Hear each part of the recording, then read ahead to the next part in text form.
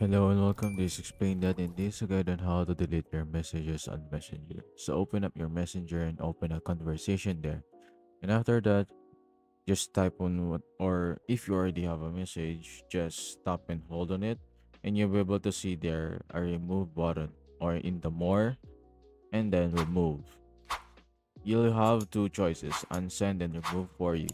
The unsend one, unsend is from everyone while the remove for you only removes it from your perspective of the chat but they'll still be able to see on it.